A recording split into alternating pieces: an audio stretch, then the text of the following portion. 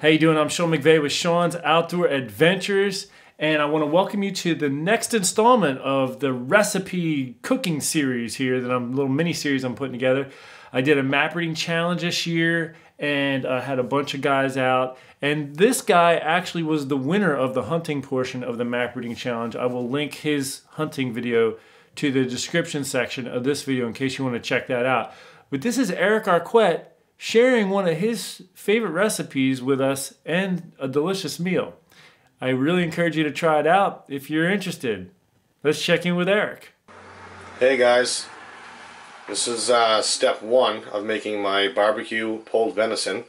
This is what's going to be going in the crock pot.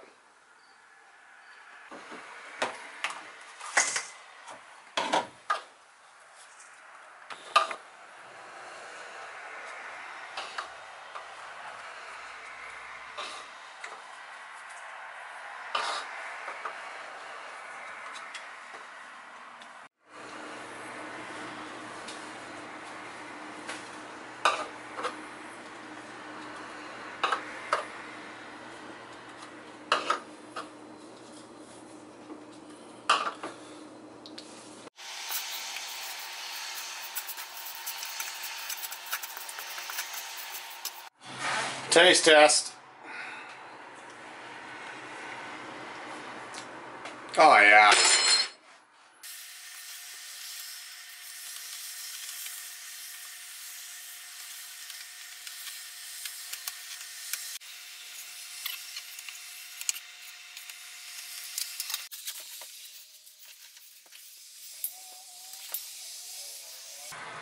Usually I would do this with a whole roast but I was kind of limited with what I had.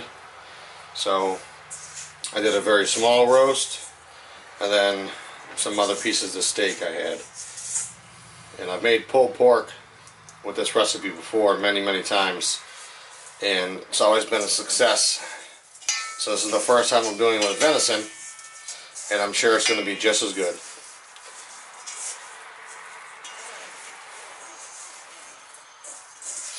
basically just coating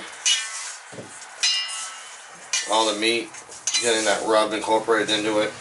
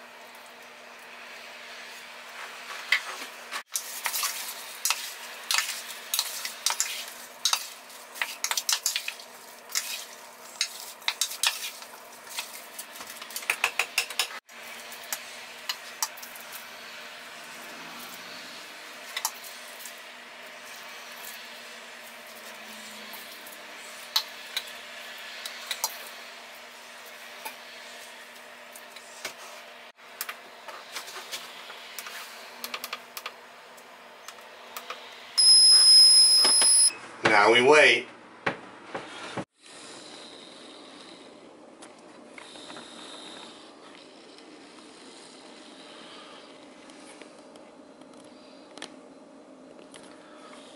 I took the pork, uh, took the venison out, and I pulled it apart.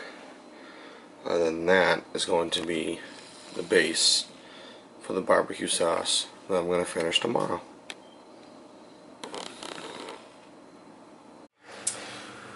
So I already transferred the base of the barbecue sauce into this pan.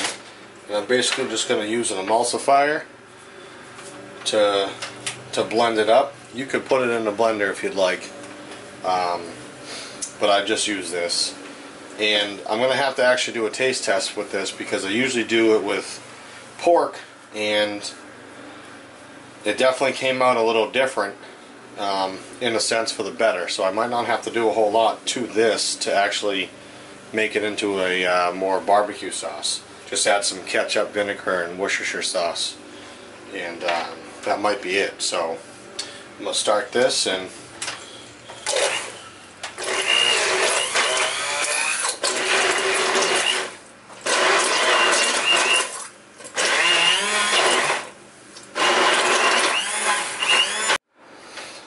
Alright, so I blended it up. It's not going to be nearly as smooth as regular barbecue sauce because we got the veggies and the apples and etc. as the base. So it is going to be a little chunky.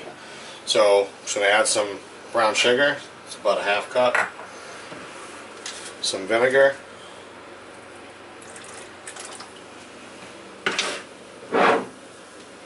Some Worcestershire sauce.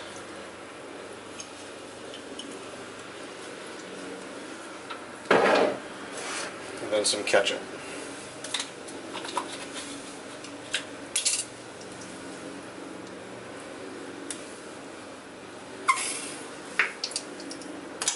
And again, a lot of this I have to kind of modify a little bit because it usually comes out different because of all the fat from the pork. But I modify a lot of the stuff as I go anyway, so it should be pretty good.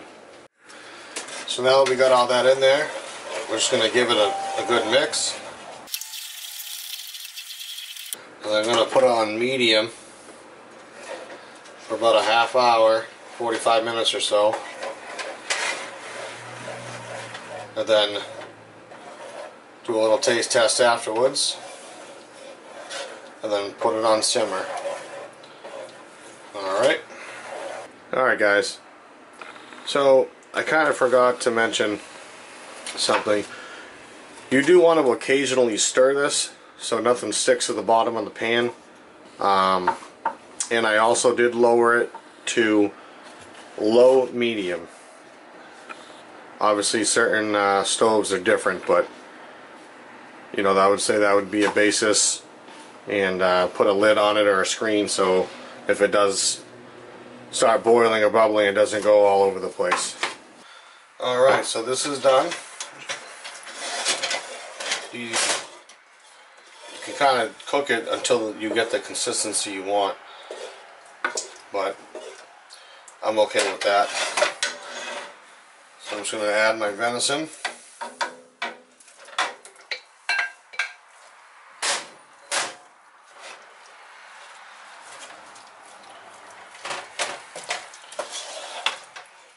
And you definitely don't have to add all the sauce or any at all. You can just add it after when you're about to eat it on your sandwich or however you want to do it.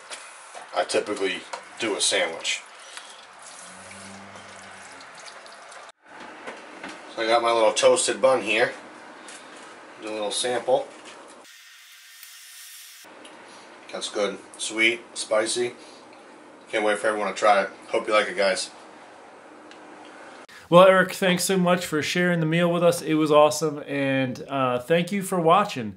All right, venison chili is on the next video that's coming up, and it's made by Jerry, Eric's teammate. So stay tuned for that. Until then, take care, and God bless.